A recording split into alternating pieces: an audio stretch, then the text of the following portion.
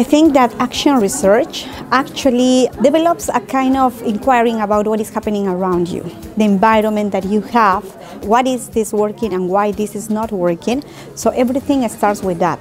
And then it's I think it's a kind of desire in order to try to change. What do you think is a problem or what do you think it can be improved? The action research is going to give you tools in order to make your lessons more unforgettable for your students, to see what other things you can share not only in your action but also with your colleagues. Perhaps they have same realities or you or something different, but they might find something useful from the things that you are researching, that you are finding, and in the last instance to share with them.